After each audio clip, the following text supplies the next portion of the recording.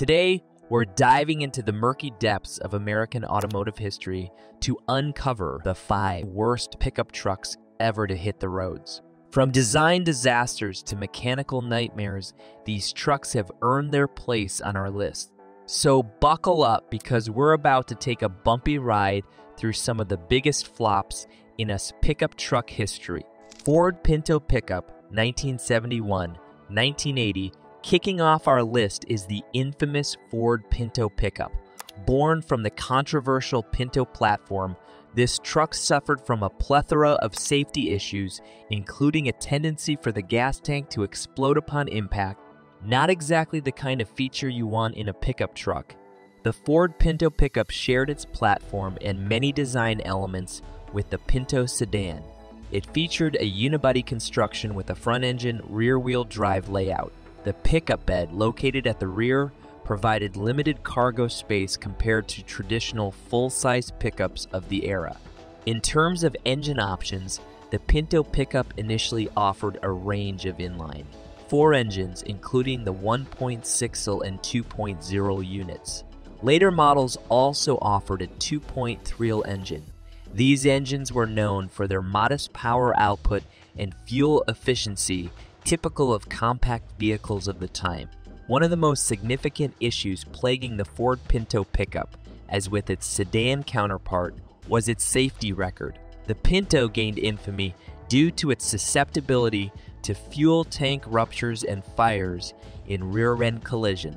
The placement of the fuel tank behind the rear axle made it vulnerable to impact, leading to tragic consequences in certain accidents. The safety concerns surrounding the Ford Pinto pickup led to numerous controversies and legal battles for Ford Motor Company. Internal memos revealed that Ford was aware of the safety risks during the vehicle's development but chose not to address them due to cost consideration. In 1978, Ford issued a recall for certain Pinto models, including the pickup variant, to address fuel system defects that could lead to fires. However, by this time, the damage to the Pinto's reputation had already been done. Next on our list is the Chevrolet LUV, short for light utility vehicle. Despite its promising name, this truck suffered from reliability issues and lackluster performance. It failed to make a dent in the competitive small truck market dominated by Japanese imports. The Chevrolet LUV, also known as the Isuzu Faster or Isuzu Skibe, was a compact pickup truck produced by Isuzu Motors and rebadged and sold by Chevrolet in North America. It aimed to capitalize on the growing demand for small trucks during the 1970s fuel crisis. The Chevrolet LUV featured a utilitarian design with a compact body and a relatively simple interior. It came in various body styles, including single cab, extended cab, and even a chassis cab configuration for specialized application. The bed lengths varied depending on the cab style, offering versatility for different cargo needs. Under the hood, the LUV initially offered a choice of four cylinder engines, including a 1.8L and a 2.0, both sourced from Isuzu. Later models introduced a larger two-point thrill engine. These engines provided adequate power for light duty hauling and commuting while delivering good fuel efficiency, which was a key selling point during the fuel crisis era. The Chevrolet LUV was praised for its reliability and durability, traits commonly associated with Japanese built vehicles of the time. Its robust construction and simple mechanical components contributed to its reputation for longevity, making it a popular choice for budget conscious buyers and fleet operators. In terms of performance, the LUV's small displacement engines offered modest power output and acceleration suitable for urban driving and light hauling tasks. While it wasn't the most powerful truck in its class, it excelled in efficiency and low operating costs, appealing to a wide range of consumers. The Chevrolet LUV, despite its popularity and success in certain aspects, is often considered one of the worst trucks in American history. The Dodge Rampage was based on the Chrysler L platform, which it shared with the Dodge Omni and Plymouth Horizon, both compact cars. This platform provided the Rampage with front wheel drive and a compact footprint, making it maneuverable in urban environment. One of the Rampage's distinguishing features was its unibody construction, which contributed to its car like handling characteristics. It featured a unibody structure with a front engine layout and a cargo bed integrated into the rear. Despite its compact size, the Rampage offered a surprisingly spacious interior for passengers, with seating for two occupants. However, its cargo bed, while functional for light duty hauling, lacked the capacity and versatility of traditional pickup trucks the Dodge Rampage initially offered a choice of two engines a 2.2 liter inline 4 and a 2.5 liter inline 4. These engines, while adequate for daily commuting and light hauling tasks, lack the power and towing capacity expected of traditional pickup trucks. The Rampage's performance was modest, reflecting its focus on fuel efficiency and urban usability rather than outright power. While it offered respectable fuel economy for its time, its performance failed to impress consumers looking for a more capable and versatile truck. Despite its innovative concept and practical design, the Dodge Rampage failed to resonate with consumers for several reasons. Limited utility, the Rampage's compact size and modest payload capacity limited its appeal to buyers who required a more capable and versatile truck for hauling and towing tasks. Unconventional styling. The Rampage's unconventional styling, characterized by its car like front end and integrated cargo bed, failed to attract buyers accustomed to the rugged aesthetics of traditional pickup trucks. Market competition. The Rampage faced stiff competition from established players in the compact truck segment, such as the Ford Ranger and Chevrolet S10, which offered greater utility, performance, and brand recognition. Perception Despite its practicality and fuel efficiency, the Rampage struggled to overcome the perception that it was neither a true car nor a true truck, leaving it in a niche market with limited appeal. The Dodge Rampage was an ambitious attempt by Dodge to offer a versatile and efficient vehicle that bridged the gap between cars and pickup trucks. However, its limited utility, unconventional styling, and stiff competition ultimately led to its downfall, relegating it to obscurity in automotive history. While it may not have achieved commercial success, the Rampage remains an interesting footnote in the evolution of American automotive design and innovation. Dubbed the gentleman's pickup, the GMC Caballero tried to combine luxury with utility. Unfortunately, its awkward styling and underwhelming performance failed to resonate with buyers, leading to its eventual demise.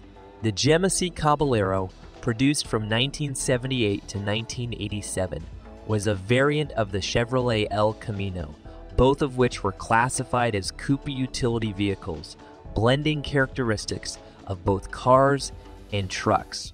While the Caballero had its unique features and qualities, it often finds its place among lists of the worst trucks due to several factors styling and design issues. The Caballero's styling was polarizing with its front end resembling that of a traditional car while the rear featured a pickup bed. This unconventional design led to criticism from some consumers who found it neither fully practical as a truck nor stylish as a car, resulting in limited appeal in the market, limited payload, and towing capacity. Despite its truck like appearance, the Caballero's payload and towing capacity were relatively modest compared to dedicated pickup trucks of the era. This limited its utility for tasks such as hauling heavy loads or towing trailers, which were common requirements for truck buyers. Performance and reliability concerns. The Caballero was offered with a range of engines, including V6 and V8 options, but some models suffered from performance and reliability issues. These issues included engine malfunctions, transmission problems, and durability concerns, which affected the vehicle's overall dependability and ownership experience. Market competition. The Caballero faced tough competition from both domestic and foreign manufacturers, including traditional pickup trucks from Chevrolet, Ford, and Dodge, as well as imported models like the Toyota Hilux and Nissan Datsun. Compared to these rivals, the Caballero struggled to offer the same level of performance, versatility, and reliability, leading to its decline in sales and popularity. Declining sales and discontinuation. Over its production run, sales of the Caballero gradually declined as consumer preferences shifted towards more conventional pickup trucks and SUVs. Despite efforts to update the design and features, including a transition to front wheel drive platforms in later years, the Caballero failed to reverse its fortunes and was eventually discontinued in 1987. The Chevrolet SSR Super Sport Roadster, produced from 2003 to 2006, was a unique and unconventional vehicle that blended elements of a pickup truck with those of a retro styled convertible roadster. While it garnered attention for its distinctive design and innovative features, the SSR is often regarded as one of the worst trucks in America due to several reasons. Polarizing design. The Chevrolet SSR's design was polarizing, combining retro styling cues reminiscent of 1950s era trucks with modern mechanical components. While some appreciated its nostalgic aesthetic, others found its design to be quirky and impractical, lacking the traditional functionality expected from a pickup truck.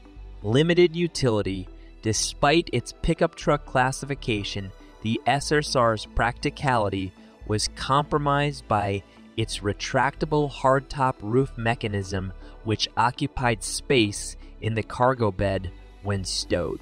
This limited the SSR's ability to carry large or bulky items, reducing its usefulness as a true pickup truck for hauling cargo. High price tag. The Chevrolet SSR was marketed as a premium, niche vehicle commanding a significantly higher price than traditional pickup trucks of similar size and capability. Its luxury features and limited production numbers contributed to its high price tag, making it unattainable for many prospective buyers. Underwhelming performance. While the SSR featured a powerful V8 engine, its performance did not always match its sporty appearance. Some critics and enthusiasts found its acceleration and handling to be lackluster compared to other performance oriented vehicles in its price range, leading to disappointment among buyers seeking a more dynamic driving experience. Poor sales and short production run.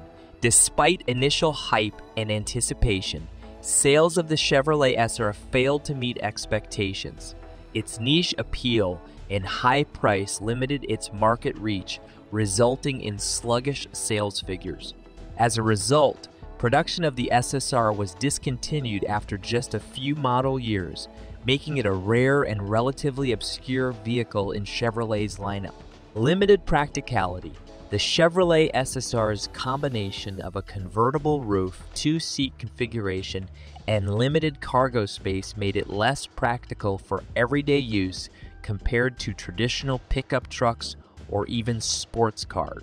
Its niche appeal and specialized design features may have alienated potential buyers seeking a more versatile and functional vehicle. In summary, while the Chevrolet SSR offered a unique and distinctive driving experience, its unconventional design, limited utility, high price, and underwhelming performance contributed to its classification as one of the worst trucks in America. Despite its cult following among enthusiasts, the SSR's shortcomings ultimately outweighed its novelty and charm in the eyes of many consumers and automotive critics. If you enjoyed this content and would like to see more videos like this one, be sure to give this video a big thumbs up and subscribe to our channel. By subscribing, you'll stay updated on all our latest uploads and be the first to know when we release part 2 of this series. Don't miss out on more fascinating insights into automotive history and the world of trucks. Thanks for watching, and we'll see you in the next video